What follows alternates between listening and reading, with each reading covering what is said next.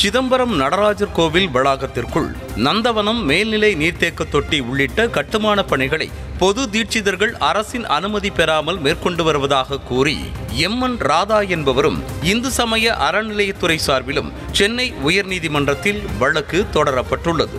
இந்த வழக்கை விசாரித்த உயர்நீதிமன்ற நீதியரசர்கள் R Mahadevan P D Adikesavalu அமர்வு இந்து சமய அறநிலையத்துறை அதிகாரிகள் மற்றும் தொல்லியல் துறை அதிகாரிகள் கொண்ட குழுவினர் நேரில் ஆய்வு செய்து அறிக்கை தாக்கல் செய்ய உத்தரவிட்டது.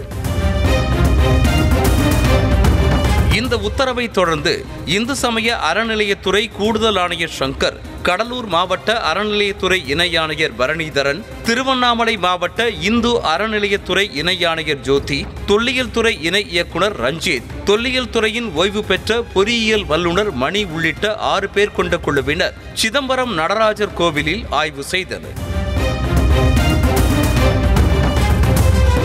கோவில் நந்தவனத்தில் கட்டப்பட்டுள்ள பூங்கா மேல்நிலை நீர்த்தேக்க தொட்டி வளாகத்தில் கட்டப்பட்டுள்ள புதிய கட்டடங்கள் பிரகாரத்தில் உள்ள புராதன ஓவியங்கள் யானை பராமரிப்பு இடம் கோசாலை போன்ற இடங்களை பார்வையிட்ட ஆய்வுக் குழுவினர் அவற்றை படம் பிடித்தனர்.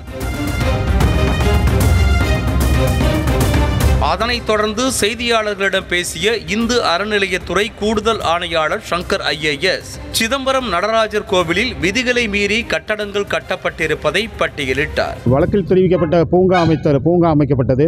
முதல் மற்றும் இரண்டாவது பிரகாரங்களுக்கு உள்ளே அறைகள் கட்டப்பட்டுள்ளது. பழங்கால ஓவியங்கள் அளிக்கப்பட்டுள்ளது. மற்றும் கல்வெட்டுகள் மறைத்து கோபுரத்திற்கு இடையூறு ராஜகோபுரங்களுக்கு இடை இடையூறாக முன்னதாக சிறிய அளவில் சன்னதிகள் கட்டப்பட்டுள்ளது. விதிமீறல்கள் கண்டறியப்பட்டுள்ளது. எவ்வித அனுமதியும் பெறப்படவில்லை. அதன் அடிப்படையில் அரசுக்கு அறிக்கையில் தாக்கல் செய்யப்படும். சுமார் மூன்று மணி நேரமாக நடைபெற்ற இந்த ஆய்வின் போது பக்தர்கள் வழக்கம் போல சுவாமி தரிசனம் செய்தபடி இருந்தனர். தங்கள் தரப்பு வாதத்தை கேட்காமல் கோவிலில் ஆய்வு நடத்த பிறப்பித்த உத்தரவை மறு ஆய்வு செய்ய கோரிய மனு நிலுவையில் உள்ளபோது அறநிலையத்துறை அதிகாரிகள் ஆய்வுக்கு வந்தது. சட்டத்திற்கு புறம்பானது என குற்றம் சாட்டிய தீட்சிதர்கள் தரப்பு வழக்கறிஞர் சந்திரசேகர் சட்டத்தில் அனுமதிக்காத எந்த ஒரு கட்டடத்தையும் தங்கள் தரப்பு கட்டவில்லை என்றார். இந்த ஆய்வுக்குழு என்பது தவறான சட்டத்தை தவறாக பயன்படுத்தியும் நீதிமன்றத்தை மிஸ்லீடு பண்ணியும் பொது தீட்சர்களுக்கு தொந்தரவு கொடுப்பதற்காகவே இந்த ஆய்வுக்குழுவை பார்வையிட செய்துள்ளார்கள் என்பதை பொதுவெளியில் நான் தெரிவித்துக் கொள்கிறேன். தற்போது நான் பொது தீட்சர்களின் சார்பில் நான் தெரிவிப்பது என்னவென்றால் இந்த கோவிலில் அனுமதிக்காத எந்த கட்டுமானத்தையும் நாங்கள் செய்யவில்லை என்பதை மீண்டும் ஒரு முறை பொது தீட்சர் சார்பில் தெரிவித்துக் கொள்கிறோம்.